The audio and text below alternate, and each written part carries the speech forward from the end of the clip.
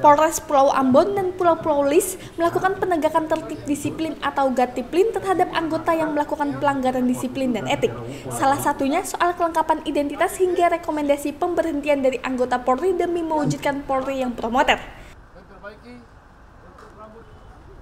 Kasih Propam Polres Pulau Ambon dan Pulau-Pulau Lis Ibda Yabes mengatakan, target kita dalam kegiatan Gatiplin ini adalah pemeriksaan sikap tampang kelengkapan di antaranya KTA, KTP, SIM, STNK, rambut, sepatu, pakaian dan apabila melanggar aturan akan mendapatkan teguran.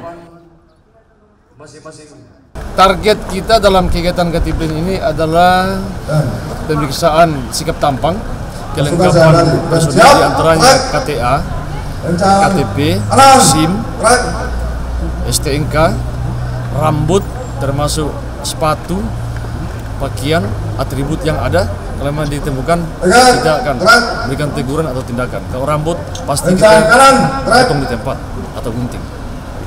Sanksinya apa aja dan? Sanksinya sanksi administrasi berupa teguran tertulis. Kalau memang masih berulang lagi, mungkin kita bawa ke dalam sidang disiplin. Kapolres Pulau Ambon dan Pulau-Pulau Lis Ambon, AKBP Sutrisno Hadi Santoso mengatakan penanganan internal yaitu berupa penegakan disiplin kepada anggota yang melanggar mulai dari kelengkapan surat-surat, performance, kemudian pelanggaran-pelanggaran hukum baik itu sidang disiplin maupun sidang kode etik.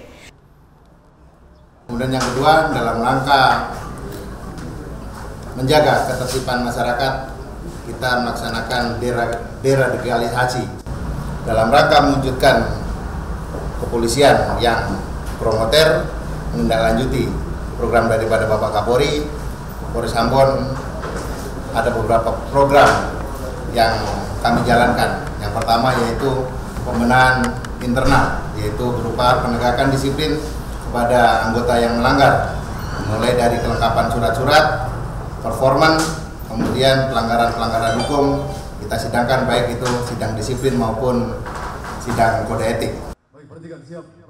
Dari Ambon, Tim Liputan Tribrata TV, salam Tribrata.